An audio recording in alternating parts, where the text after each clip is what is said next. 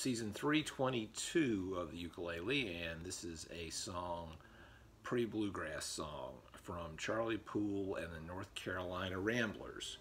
Bill Monroe later incorporated it in his repertoire. It's about the assassination of President William McKinley, and it's called White House Blues.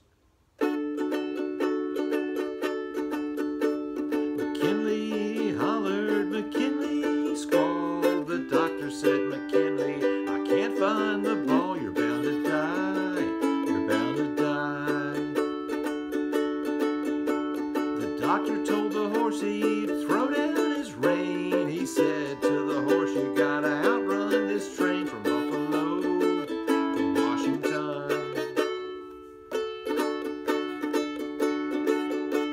The doctor came a running, he took off his specs.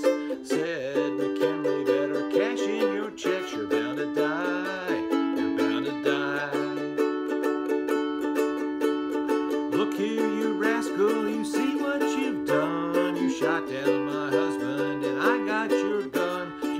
back to Washington. Roosevelt's in the White House.